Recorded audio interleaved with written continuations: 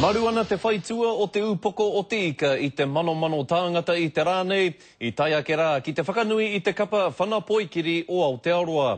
Nā te Pirimia tonu, nā John Key te whakatau, i tīmata ai ngā mahi whakanui i te kapa oma, mō tō rātou whakapau werawera ki te whakataetae ipu o te ao i Āwherika ki te Tonga. I just want to say to you all it's one thing.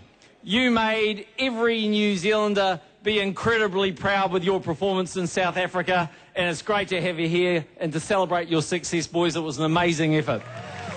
Ko te whakapono o tō rātou kaihautū e pakari ana te kapa ināianei mō ētahi tākaro nui ki ngā kapa o te ao i tēnei tau.